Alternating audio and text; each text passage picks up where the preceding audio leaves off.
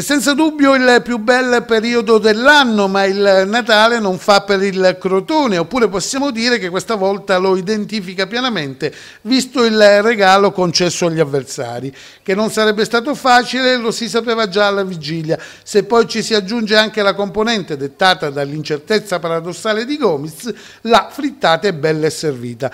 L'estremo difensore del Crotone purtroppo non è nuovo a certi svarioni, il suo atteggiamento sicuro da portiere navigato navigato è costato caro anche contro l'Empoli. La classifica sorride ancora, ma poteva essere molto più imponente. Non bisogna assolutamente buttare la croce su Gomiz, che tra l'altro in altre circostanze è stato determinante per il risultato, ma per quello che ci compete non possiamo fare a meno di parlare di questo errore purtroppo determinante ai fini della sconfitta. L'1-0 subito ad inizio gara comunque ci è parso rimediabile. Se il Crotone avesse sciorinato con la lucidità che lo ha contraddistinto in altre partite, il gioco che gli ha consentito di portarsi nei piani alti della graduatoria, probabilmente non avrebbe perso. Possiamo affermare che al di là dell'indecisione di Gomiz, tutta la squadra ci è sembrata un po' sottotono, Pochi giorni alla chiusura dell'anno e del girone d'andata. Domenica si replica l'uscita contro il Palermo,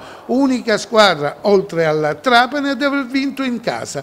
Per il resto una giornata tutto sommato molto natalizia.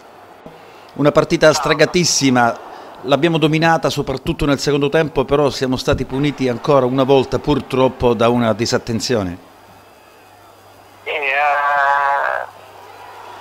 capitata questa disattenzione che ha messo sotto l'aspetto tattico la partita come voleva il Trava, perché loro si chiudono e poi hanno giocatori davanti abili nelle ripartenze, eh, quindi sotto questo punto di vista siamo stati fortunati. E poi penso che nel secondo tempo abbia giocato solo una squadra e purtroppo in questo momento facciamo fatica a finalizzare. Sì, questo è vero, nel secondo tempo c'è stato solo un crotone. Io cambio un attimo discorso per chiederti se questo pareggio potrà influire sulla gara di domenica prossima con il Palermo dal punto di vista psicologico, sia ben chiaro. Ma non penso perché un allenatore deve essere bravo a dividere quello che è il risultato dalla prestazione della squadra.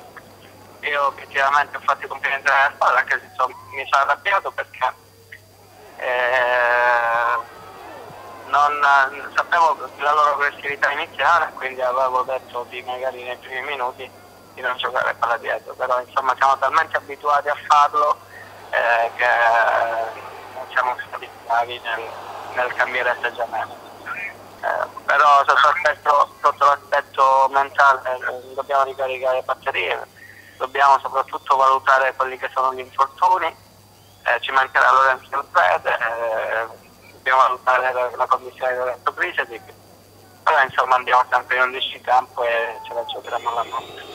Va bene, grazie Massimo, ti lascio rientrare. Eh, okay. pen pensiamo al Palermo e a, ad un grande riscatto del Crotone domenica. Ok, grazie. Grazie Massimo, grazie. Ciao.